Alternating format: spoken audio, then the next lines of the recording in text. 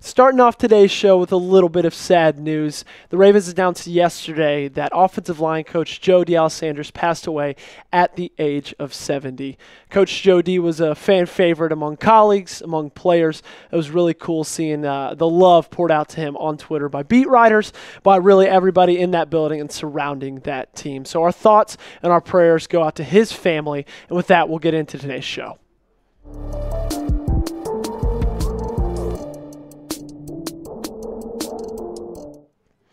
It's been a little while, but this guy's getting some action come tomorrow. It is time for the 53 man rosters to be here, which is just great news because that means we're just that much closer to the regular season starting. So, who do I have as my five cut candidates for the Baltimore Ravens? We'll get into that in just a little bit. But before we do, let's take a look at the uh, AFC North sub battle standings.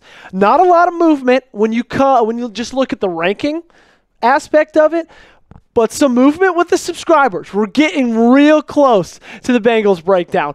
Just making that lead go up and up more on Browns Report as we should. And guys, Steelers talk is close. We got a puncher's chance to get Steelers talk. It's it is uh, August 26th. We got about five days left in this month. Can we do it by the end of the week? Can we lead the AFC North? Hit that subscribe button if you haven't already, and help us pass the Bengals and maybe even the Steelers. Let's get into our cut candidates. Starting out with number one, that is cornerback Daryl Worley. Now, this is an interesting one because if there hadn't been such great cornerback play from other guys in this roster not expecting, I don't think he'd be a cut candidate. But if you just look at these last four seasons from Daryl, just not a lot for him to be like, okay, 100% keep this guy on the roster, 100% keep this guy on the team. And honestly, guys, at the end of the day, there's just too many young guys on this team that have a higher ceiling. There's too many young guys on this team that have a higher potential than Daryl Worley does. Daryl Worley has had a pretty good NFL career. It hasn't been a great one, but it's been one that you know, a lot of people will wish they would have had. But just at the end of the day, you're you're choosing people for the 53 man roster that are going to make a difference, and you're choosing people to put on this 53 man roster that you want around this team years to come, right? You want them around this team in the next two or three years. They might not have as much of an impact this year as Daryl Worley would have, but they're going to have a higher ceiling at the end of their career than Daryl Worley does now. Now, so he's my first cut candidate, but I want to know. I want to know. You guys, let me know down in the comment section what percent chance would you give Daryl Worley to make this roster? I'm probably checking in at about, mm, I'd say 26. I don't know why not 25. I'm saying 26%. That's what I got. You guys let me know down in the comment section. Number two, we got quarterback Devin Leary. And guys, I don't mean to keep piling on Devin, but just when you look at his preseason stat line and when you look at what he's trotted out for every single one of these games, where you're saying, okay, Devin, I don't know if he was a long shot, but hey, it's not a 100% guarantee you make this roster. Show us something, right? Show us something.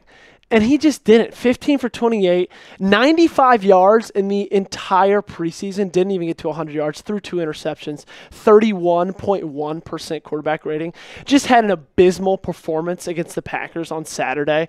Every single game, it seemed like he got worse, which is just not the trajectory you need to go when you're a guy that wants to make a roster. And again, guys, I don't want to keep piling on him, but he's just, he's not ready. He's not ready to make an NFL roster. And it's so interesting when you look at his college statistics because he's a guy that honestly regressed a ton from year 2021 to that 2023 season. Now, he was hurt in 2022, so I will add that in there. Those 1,265 yards, that's not what he did in an entire season. He was hurt. But 2021 had a fantastic season with NC State 3,433 yards, 35 touchdowns, five interceptions only. And then his last season at Kentucky, under 3,000 yards, 25 touchdowns, 12 interceptions.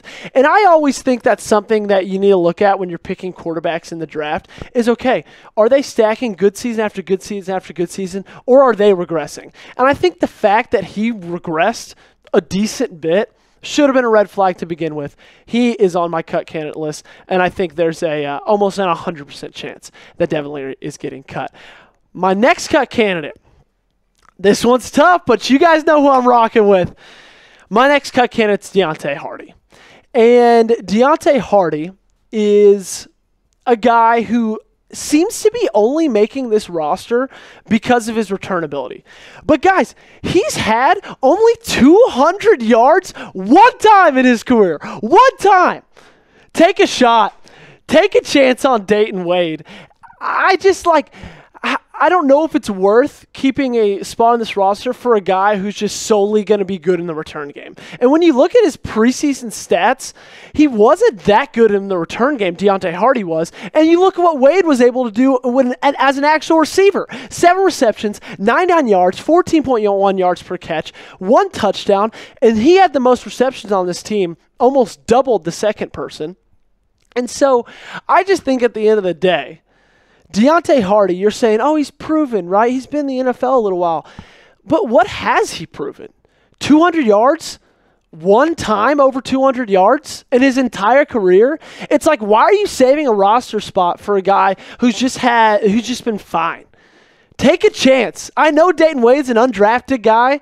I know that this is a shot in the dark, but what he's shown you in the preseason so far, I think has been good enough to earn him a roster spot. I hope that Dayton Wade makes a roster.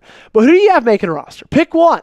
If you got Deonte Harty, type DH in the comment section. If you got Dayton Wade, type DW in the comment section. And you guys let me know down below. You know, oh, you know, I'm spamming those DWs. My keyboard might break but that's what I'm spamming.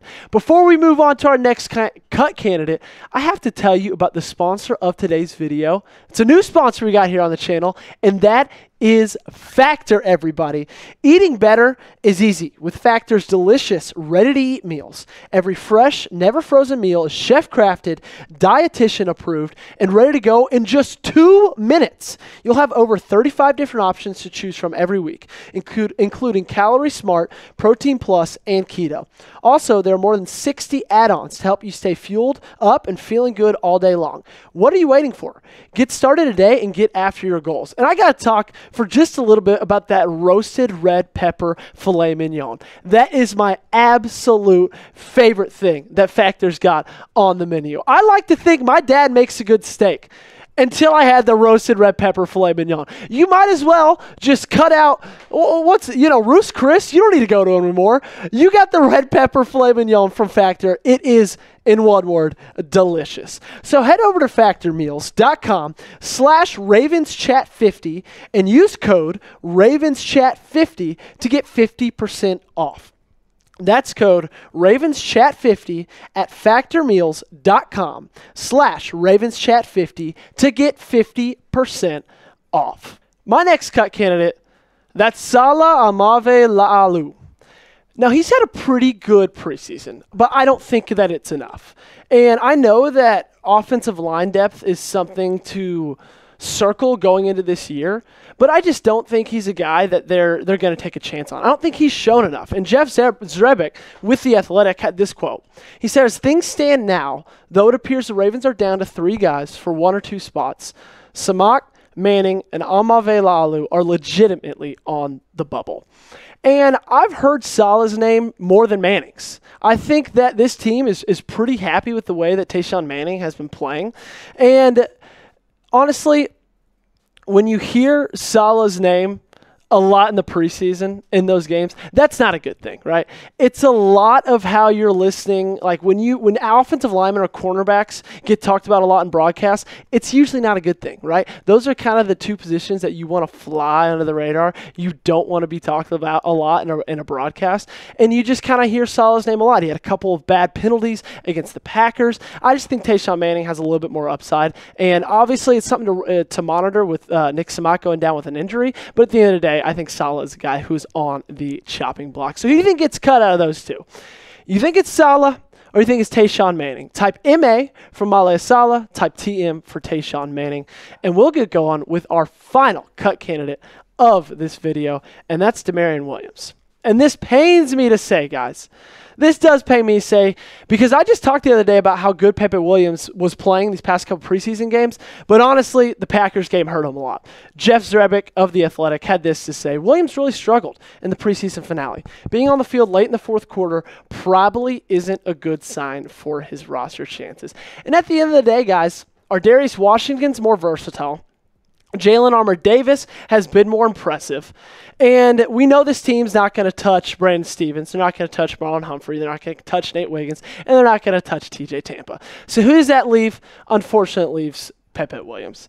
And I talked about it last week. I was really happy with the way he was playing, had heard good reports of the way that he was practicing.